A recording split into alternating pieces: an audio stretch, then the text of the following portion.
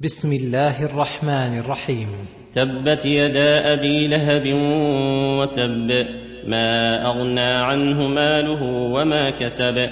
أبو لهب هو عم النبي صلى الله عليه وسلم وكان شديد العداوة والأذية للنبي صلى الله عليه وسلم فلا فيه دين ولا حمية للقرابة قبحه الله فذمه الله بهذا الذم العظيم الذي هو خزي عليه إلى يوم القيامة. فقال تبت يدا أبي لهب وتب.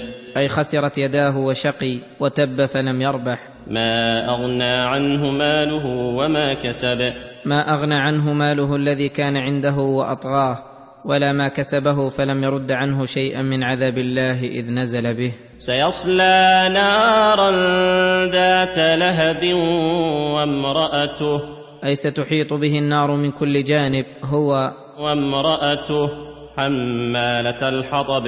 وكانت أيضا شديدة الأذية لرسول الله صلى الله عليه وسلم تتعاون هي وزوجها على الإثم والعدوان وتلقي الشر وتسعى غاية ما تقدر عليه في أذية الرسول صلى الله عليه وسلم وتجمع على ظهرها من الأوزار بمنزلة من يجمع حطبا قد أعد له في عنقه حبلا من مسد أي من ليف. أو أنها تحمل في النار الحطب على زوجها متقلدة في عنقها حبلا من مسد وعلى كل ففي هذه السورة آية باهرة من آيات الله.